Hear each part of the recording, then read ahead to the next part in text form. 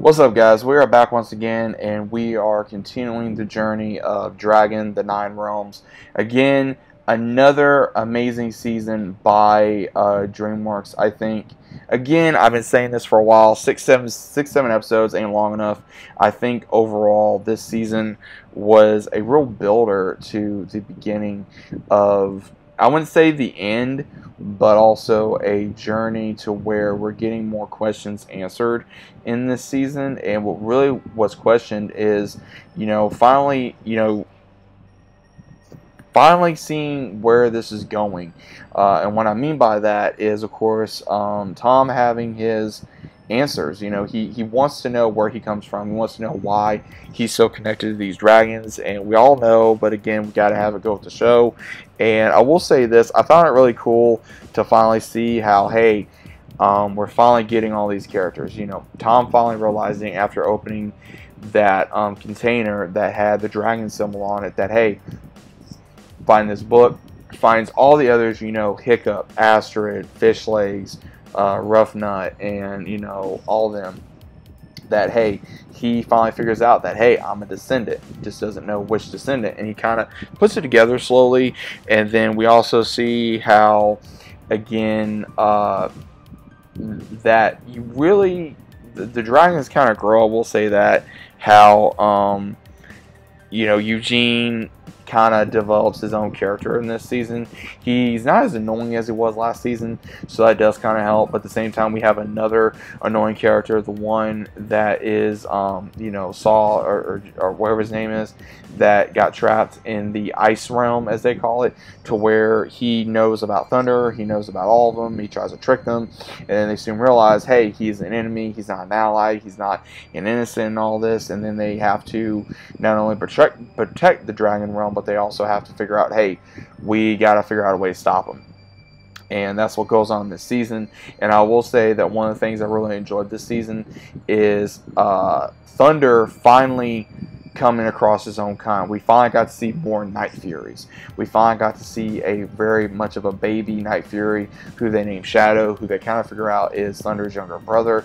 Then they see the two other siblings when they finally go to his realm where he's originally from, and they got to meet uh, his parents pretty much, and then they get to meet the Elder, which the Elder is really much bigger. And after kind of doing some research, I have a theory either the Elder could be, again, this is a long shot, he could be either the grandson grandson or the son of Toothless. Not exactly sure how many bloodlines would have to go because again it was a long time ago so he could be uh, maybe some type of major descendant of toothless. Not exactly sure how far, but again, that's just, you know, because again, we don't know how long dragons live, right? We, we don't know. But I was very happy about that. There was a massive battle between the ones that was taking over Thunder's home, and we got to see um, Thunder and Tom really unite, and Tom reunite, you know, uniting with uh, Thunder's family because Thunder Thunder's family was uh, very, I would say, almost against humans being in their realm, and they slowly was uh, getting used to it, and then some things was taken out of context, and then they were kind of banished, and then of course Shadow shows up again, saying, "Hey, we need help," and then as soon as that happens, they soon realize, "Hey, uh, these kids are here to help. These humans are here to help," and when everything's said and done you see where Thunder is having to make a choice. Does he stay with his own kind? Does he go with Tom? And it's a very heartfelt moment. And again, if you're a very big How to Train Your Dragon fan or a Train Your Dragon fan in general, um, and, and, you just you know that bond of like Hiccup and Toothless had, then you obviously know Thunder and Tom has that you know as well. So it's very interesting to see everything coming together and I love it. And I'm very happy that you know the elder kind of was like hey I see your bond with him. Go. You, you can go. It's okay. And it, it almost felt like it was going to be the end of the series but everything that I've read everything I've heard they want to have this series go on as long as possible. Honestly, I think the series could go on for heck six, eight seasons. I mean, that's just my honest opinion. I think that the other one went for I think about six, eight seasons. I think. Uh, again, I could be wrong. I'm still watching Race to the Edge.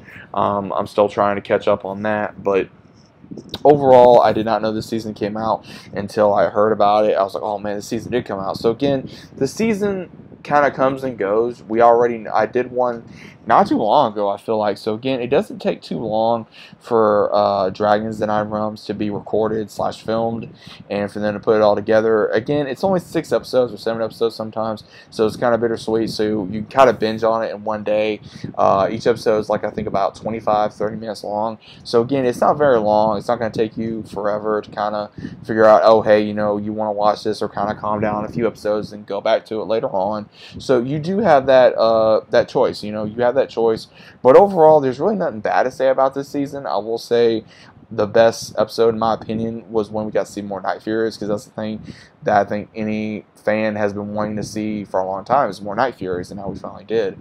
So now that we finally see more Night Furies, I would say that was a little bit of. Uh, you know, fan service, and I'm, I'm very appreciative of that. And I will say this though, I like how DreamWorks is very uh, they're keeping to the story of this. They're keeping very true to the story.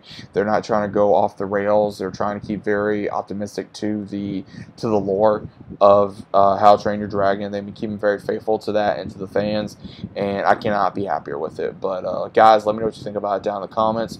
Hope you guys are excited about it like I am. Let me know your thoughts about it down in the comments down below. If you guys are still fans of this show, let me know what you like. Let me know what you disliked about it. Either way, let me know your thoughts about it down in the comments, and I'll see you as always on the next one.